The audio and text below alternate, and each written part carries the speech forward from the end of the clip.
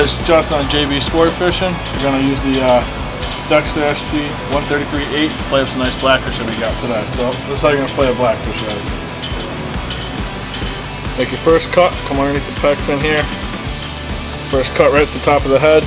Turn your blade right down top of the fish down to the tail. Lift the flay up. Make a couple cuts there. Come right down.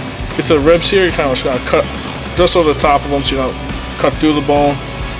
And you can follow that follow that middle bone here straight down to get to the bottom fin. A couple more cuts just to get through that rib. Pull the fly. That's your blackfish fly, guys. That's how you do that side.